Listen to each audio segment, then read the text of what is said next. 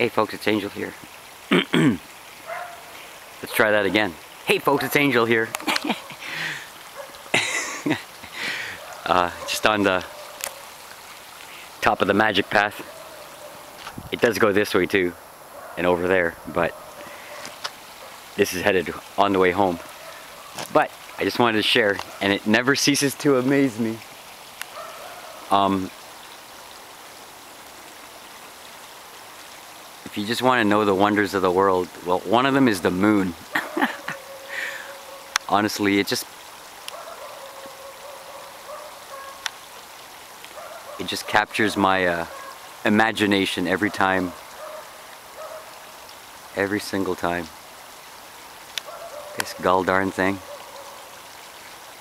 But it's going to be a full moon in a couple days, so that's really cool. Um, this is the waxing period.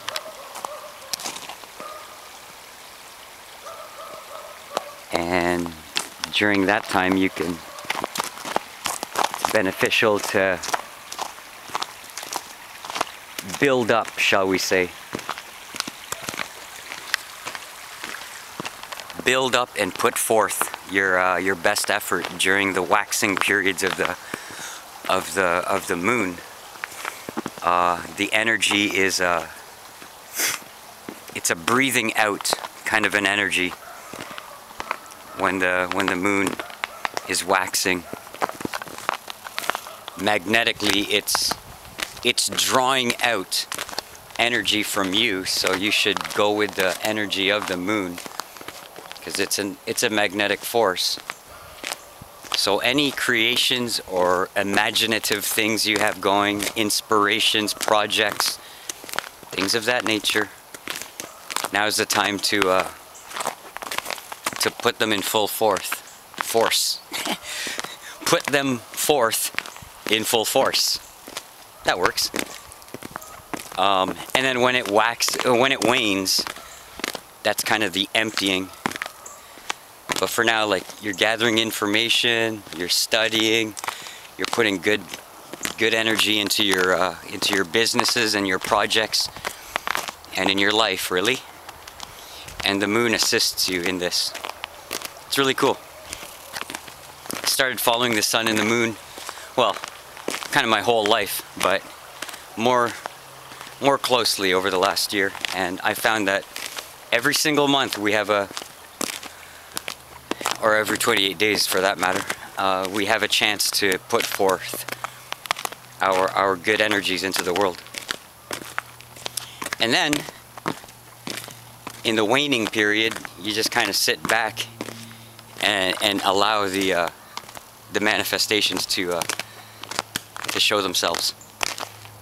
it's kind of how I do things. If you don't mind me, I'm trying not to break my ass on this ice. oh, magic path. Actually, sometimes it's good to go out here in the snow. It's a lot easier to walk. But yeah, the forest, folks. This is where uh, this is where the magic happens. If, if I had MTV cribs, I'd just take them out here. I'll say, yeah, that's where I wrote a song. And over here is where I uh, meditate on a stump of log or something. Nah, it's great. My goodness. Took a wrong turn there. Let's go this way. But that's about it for today. We're feeling good. We feel rejuvenated. We feel that we have purpose.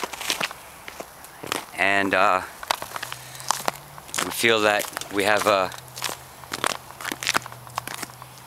another spirit guide on our side to to look out for us and, and send us synchronicities and to let us know what's up.